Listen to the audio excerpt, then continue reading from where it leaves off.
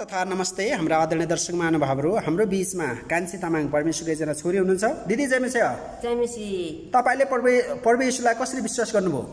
परमेश्वरलाई मैले कसरी विश्वास गरेँ भनेदेखि म एउटा बिरामी थियो। तिन वर्षसम्म बिरामी भयो तर बिरामी चाहिँ कस्तो बिरामी भयो भने तर मलाई दुख्ने बेर चाहिँ त्यहीँ थिएन।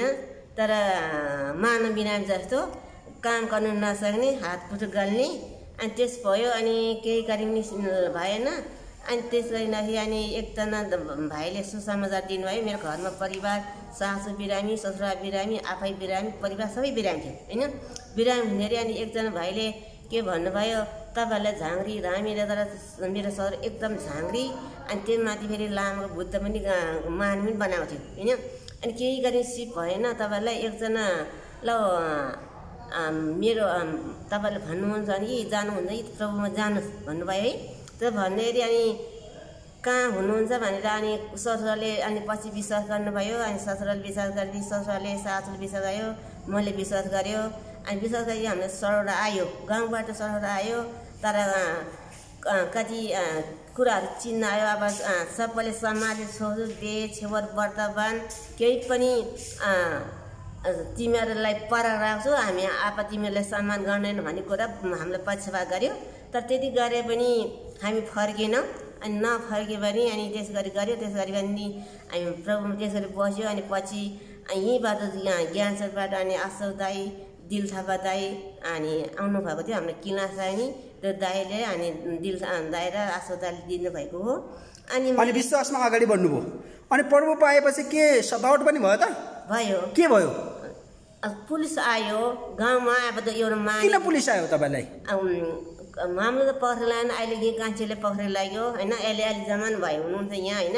उहाँले पक्रिन लाग्यो विश्वास गरेको कारण पक्रेर लग्यो अँ पक्रेर लाग्यो तर उहाँले हामीले चाहिँ पक्रेन होइन तर कसले दण्ड जरिमाना गर्यो होइन त्यसो गऱ्यो त्यसो गरे पनि हामीले छाडेनौँ पक्रेर पुलिसले लगे पनि प्रभुलाई छोड्नु भएन। छोडेन छोडेन लागिरहनु पर्यो प्रभुमा है। अनि अनि गाउँलेहरूले केही भनेन गाउँले त गरे नि तर गाउँले गर्नुसम्म गर्यो। अनि प्रभुलाई पाएपछि के आशिष पाउनुभयो त?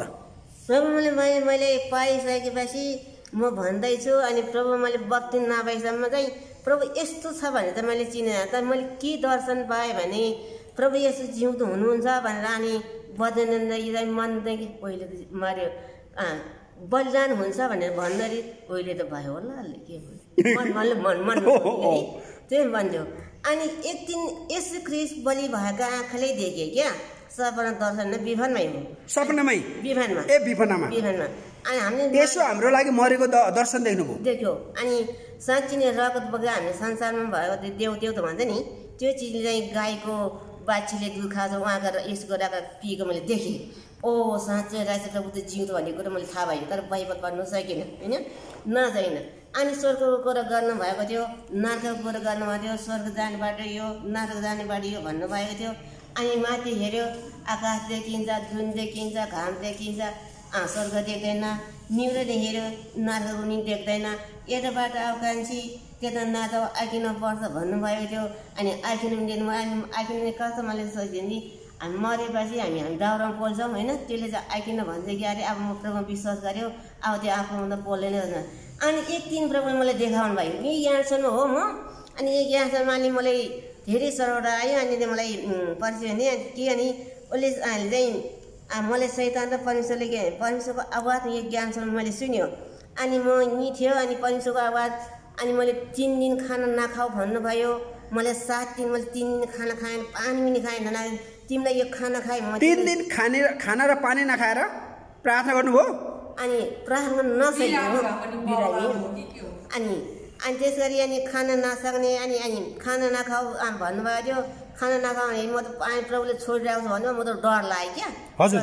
डर लाग्यो प्रभुले छोडिरहेको पनि अनि म त खानै नखाने बसेर नि प्रार्थना गर्न नसक्ने है भाका बत्ती लिएको थियो यस्तो नसक्ने अनि एक दिन तिन दिनमा तिन दिनमा अनि के भन्नुभयो अनि तिन दिनमा एक बजी र कहाँबाट ठुलो आवाज आयो खाऊ खाऊ भात अब म तिमीलाई छोडिनँ भन्नु आवाज हो? अनि भत्तपुर म धुर्क उठ्यो। अनि उठेर चाहिँ अनि म त रिङ्गले भगाउन छोड्यो अनि भगाउन छोड्यो अनि अनि छोड्यो अनि यहाँ कुमार हुनुहुन्थ्यो। अनि एउटा यहाँ काम गर्ने छोरी एकजना हुनुहुन्थ्यो अनि उहाँले मेरो साथ हुनुहुन्थ्यो। अनि खाना खाने अरे खाने भने अनि के खाने त अनि जो यहाँ मन्दिर भएको बहिनीलाई खाना भने खाना छैन भन्नुभयो। अनि चिया र बिस्कुट लिएर दिनु हुन्छ दिदी हुन्छ भन्यो अनि चिया पानी लिएको थियो त्यो खायो। अनि त्यहाँदेखि बेलुका खाना खायो खाना घाँटीबाट दिइनँ मैले त्यसो गर्यो। अनि त्यसपछि अनि त्यस गरी त्यसो भन्यो अनि फेरि एक दिन अनि स्वर्ग अनि कस्तो छ होला मलाई मनमा लागेको थियो फुलफुल हुन्छ यहाँ। अनि एक दिन माथि खोलिदिनु भयो अनि स्वर्ग देखाउनु भयो प्रभुले अनि अनि नालकुण्डा त्यो यो तल त्यो त यहाँ त तल तल जहा डहा छ अन्त घोर छ त्यहाँ त कालो न कालो मान्छेहरू। भनेपछि नर्कको पनि दर्शन देख्नुभयो देख- देखायो। थर थर थर लुक लुक लुकमा कामेँ म त है? एकदम डराएँ कामेँ। अनि परमेश्वर तिमी कहाँ जान्छौ? तिमी स्वर्ग जान्छ कि तिमी संसार जान्छ भने ठुलो स्वर मेरो कानमा आए। हे प्रभु म स्वर्ग जान्छु भने म आँखातिर हेरेँ क्या। अँ। माथि ओ प्रभु म स्वर्ग जान्छु भने माथि हेरेपछि यो ढोको खोल्छ नि भाइ। अनि खोल्ल माथि ढोको खोलेर मेरो जीवनमा फुलको थुङ्गा जात भयो। है। फुल भाइ ए स्वर्ग माथि रहेछ नर्को निमे रहेछ भन्ने कुरो मैले थाहा भयो अनि मेरो दर्शनमा देखाएपछि। अनि यसो ख्रिस्ट साँच्चै बलिदान भएको मैले देखेँ। ओ अनि यो कुरो मैले लुकाउन सकेन। मैले यो गाउँ गाउँमा प्रचार गर्न गएँ। सुसमाचार सुनाउनु भयो। गाउँ गाउँमा म यो कुरो साँच्ची नै मारेपछि यस्तो नर्कमा जानु रहेछ। मारेपछि यस्तो नर्क मलाई प्रभुले प्रभु पनि देखिनु भयो स्वर्ग पनि देखाउनु भयो नर्क पनि देखाउनु भयो भन्नुभयो भयो। यस्तो यस्तो छ भनिदिनु भयो। भन्यो अनि। गाउँलेहरूले के विश्वास गर्यो त? छैन नि। के भन्यो? गाउँले त केही भनेन। अनि केही भनेन। अनि त्यसरी चाहिँ त्यो देखाएपछि अनि म त त्यो आँखो धुनी देखायो। आँखो धुनी देखाइदियो। आँखो धुनी देखाएपछि म त डरायो। अनि आमै मारेपछि यस्तो आँखा धुनी छ आज मैले यो आँखा ल्याएर प्रभुलाई मैले यो कुरो मैले भनेन। भारी म त आँखो भट्टी मलाई फालिदिन्छ भनेर म त डर लाग्यो म त रुँदै रुँदै गयो। गाउँ गाउँमा गयो। गाउँमा गयो मैले कतिवटा गाउँ पुग्नुभयो? अनि अब छिमेकी अब माइती रङ गयो। उता नाङ्ले भार गयो। तिन ठाउँ चार ठाउँमा गयो। अनि त्यसरी घुम्दै गयो एक्लै एक्लै यो कुरो लुकाउनु मैले सक्दैन। प्रभु यो त म त भन्न चाहन्छु घरमा परिवारले नाच भने म रुन्दै भाग्दै गयो। अँ सुसमाचार सुनाउन जाँदा अँ, म एक्लै एक्लै जे पनि प्रभुको जाऊ भनेको कुरा मान्नुभयो। अँ जाऊ भने म गयो। अनि गइसक्यो त खतो भन्नै पर्छ नि कादिमानीले हो। अनि यो कुरो प्रचार भएपछि लामा झाँडले लामाले के गर्यो? अनि यो कुरो प्रचार भएपछि तिनीहरू कुरो खलबल भएछ।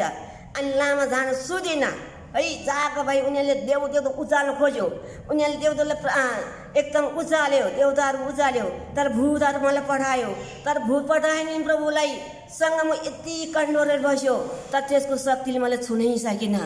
मैले यति भूत पठायो? आमै अन्धकारको शक्तिले? अन्त यति दुष्टहरू पठाए मलाई। अगाडि अगाडि नै आउँछ भाइ। हजुर हजुर। अनि त्यसरी त्यसरी पठायो अनि त्यसरी नि अनि के भने एक दिन लामा यो जोरबाटबाट गएको थियो। आफ्नै गाउँको लामा थियो अनि फेदीबाट भेट गरेर गएको अनि यो कुरो सुनेपछि अनि मसँग पसेपछि हिँड्यो है यो कुरो मैले सबै उसलाई सुनाएर तिमीले के के सुनायो के देखायो के अरे मैले यो देखायो यो देख्यो यो देख्यो यो यो अनि भनेर उनीहरू छक्क पऱ्यो। हो तिमीले बाइबल पढेको छैन? नभए पनि तेरो हृदयले पढिरहेछ तिम्रो हृदय आँखा खोलिरहेछ उसले भने क्या? अझ त्यसो भने त्यसो भने ऊ त्यो रातको दिन ऊ बसेन अनि त्यसले मलाई खेद्न खोज्यो।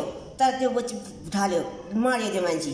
अनि तर त्यस गरी मलाई अनि त्यसरी मैले सुसमाचार सुनाउँदाखेरि अनि उनीहरू यसरी अनि लामा झाँले अनि ए हो साँच्चै स्वर्ग छ नाराकुण्ड पनि छ आँखु पनि छ। यो कुरो तिमीले ठिक्कै भनेको हो। तिमीले झुटो बोलेको होइन।